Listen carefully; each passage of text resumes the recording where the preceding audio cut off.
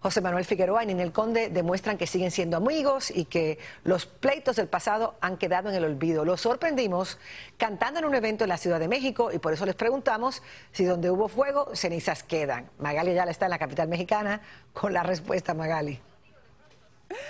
Ay, Mari, es que la química que ellos destilaban en el escenario es innegable. Y bueno, José Manuel Figueroa nos regañó a los medios de que no andemos diciendo esas cosas porque se puede o lo puede reprender su novia. Sin embargo, llama la atención que esto no estaba planeado. Ninel Conde nos decían que estaba invitada para participar con Aarón y su grupo Ilusión. Y cuando se enteró José Manuel que iba a estar en el mismo evento, le llamó y este fue el resultado de este dueto que cantaron.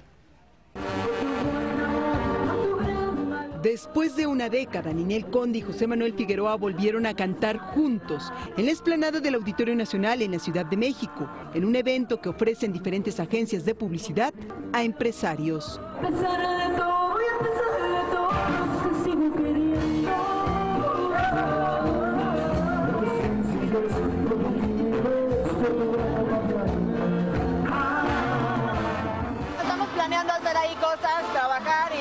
Pues bueno, qué mejor manera de hacerlo aquí frente a los empresarios. Eso es cariño, el cariño siempre va a estar, fueron muchos años, pasaron muchas cosas, pero siempre permanece lo, lo bonito, ¿no?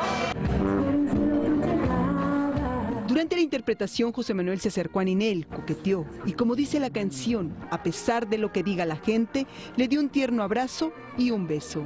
Mi amistad y mi cariño con Ninel de verdad, cuando lo he presumido, cuando lo he dicho que le quiero, que le tengo cariño, que le tengo respeto, que le tengo admiración, es, real. O sea, creo que se comprueba ahorita. No es porque vayamos a volver, creo que Ninel respeta a un grado eh, eh, como amiga, sabe que, que, que, que, he vivido lo que tengo que vivir, que, he crecido, que he madurado, sabe ella que estoy muy enamorado, sabe ella que cuenta con mi apoyo al 100% y sabe, ella también sabe cuánto la quise, cuánto le querré y cuánto siempre le voy a respetar. Por otra parte, José Manuel reacciona a las últimas declaraciones de distanciamiento de su tío, Federico Figueroa. Qué bueno que lo aclara porque definitivamente yo no soy parte de su familia, ni quiero ser parte de su familia.